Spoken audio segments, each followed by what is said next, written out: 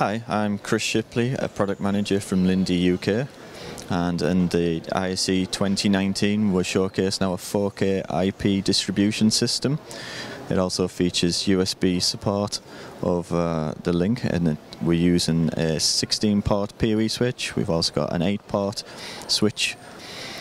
Comes as transmitter and receiver pairs, uh, available separately, so you can choose how many receivers you would like uh, over the network. So it can be single point to point or multi-distribution or a video wall layout.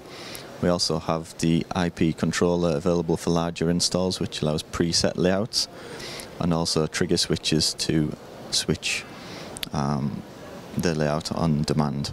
Uh, you can find more about these products at uh, lindy.com. We've had visitors from oh, we've had clients and visitors from all over the world. Um, at, on the stand, we've got our German office, Italian, UK, um, and it's good to see our existing customer base as well as new customers, our system integrators, distributors. Um, so we've had a very popular uh, show this year, and we hope to return next year also, and uh, on, onwards to Barcelona.